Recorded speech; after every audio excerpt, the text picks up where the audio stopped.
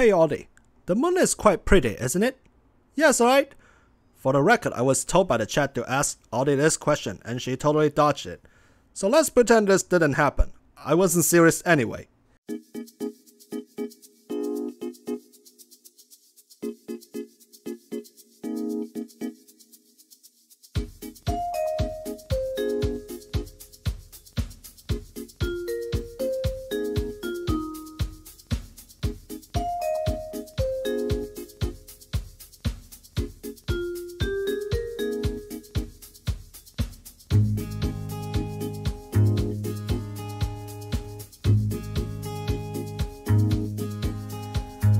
Hey guys, Jayden here. Version 1.11 reintroduces two past events, and one of them is the Fireworks Festival, which takes place every Sunday in August.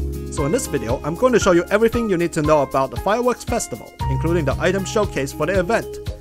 As this event is not available since launch, you need to have the game updated to version 1.11. You also need to have your Switch user linked to the Nintendo account, and have the Resident residential services built on your island.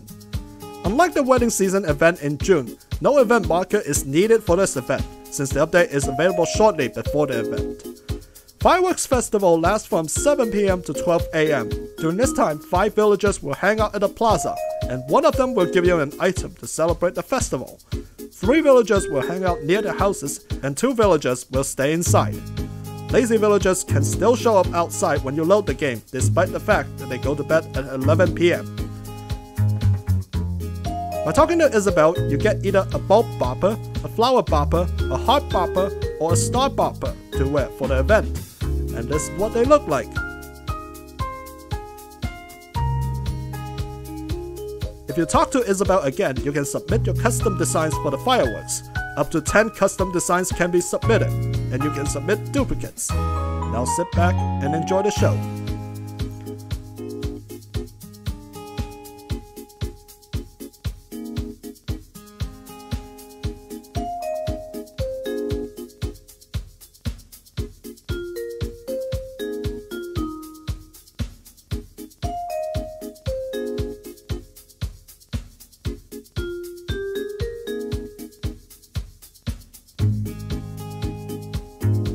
If you want to mix things up, you can talk to Redd to get some goods for the event. Don't worry, he's not here to sell you fake stuff.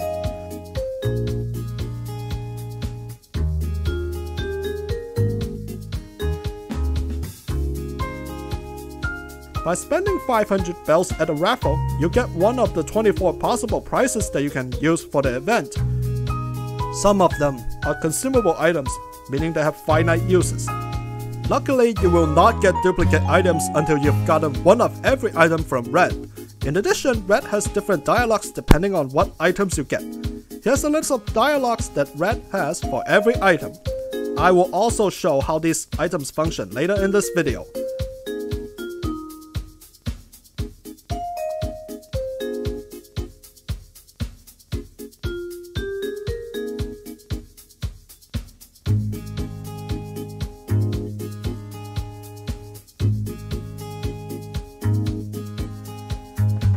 Here are the 24 items you can get from the raffle. These items are also available in Nook's Cranny as part of the daily rotation in the cabinet. However, each item costs 600 bells and you can only get one kind of item every day. Let's see how these items work. Again, some of the items have finite uses.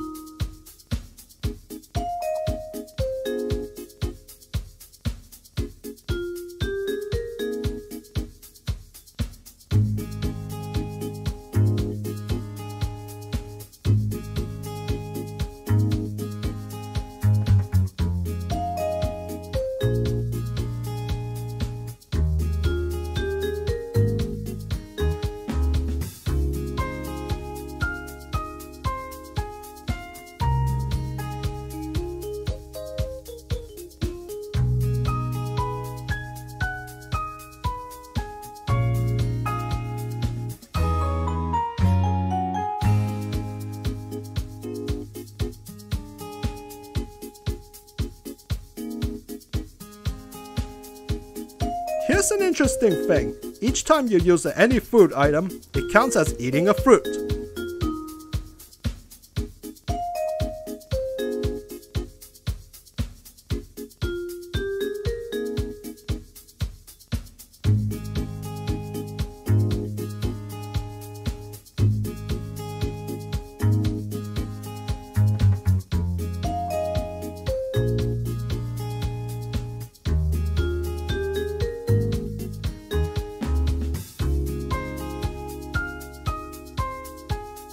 Redd did say there are no refunds if you drop your boba tea or balloon.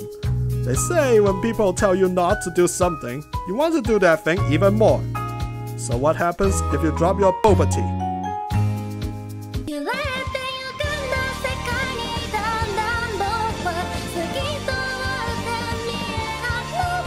There you have it, everything you need to know about the Fireworks Festival.